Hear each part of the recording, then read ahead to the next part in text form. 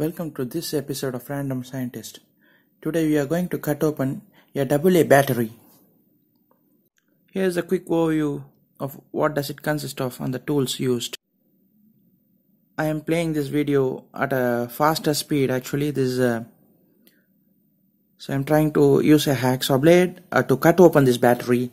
Oh what this is not at all opening. I tried several times so it is not like the outer casing which is tin, which is not coming out so right from the top positive of that one negative everything still it doesn't come out. Wow. I've cut upon five or six batteries I guess. So still but this is like so then I gently pry open on the sides and then I tried slowly. So still no luck. I'm going to get a spanner. Without that it's not possible. Yes with a spanner I'm just gently pry open at the top and do that faster. Gentle prying using hacksaw blade tip. And then if you could see this is a fast video. And it took around 5 or 10 minutes of for me uh, more than that to get to this stage actually. 5 to 10 minutes. So still doesn't come out. The outer layer should have to come out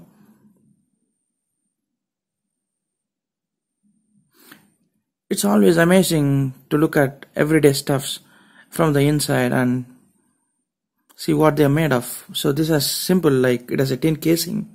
And then that is very hard this time. Actually normally i have opened the other batteries or like used batteries. This still has some power left. So this has some plastic wrapping around that inside the tin casing. So this i'm going to trying to scrape it off actually.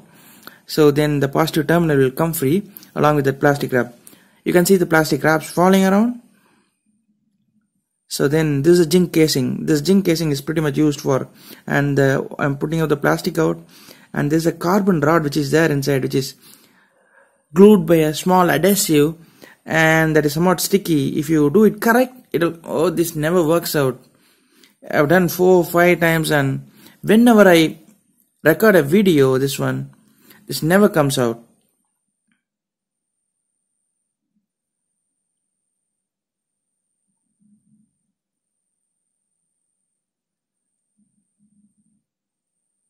Oh, oh, it's broken. The carbon filament is broken. Wait, I will just show you another uh, battery which I have pulled out the carbon rod from. So, see here, this is the other battery which I pulled out. The carbon rod comes free. So there is like manganese dioxide inside that one. So this is what is inside a AA battery, an outer casing made of tin, a zinc casing which acts as a negative electrode, and an MnO2 electrolyte, a carbon rod as a positive electrode, a positive and a negative plate, and a cap. That's it.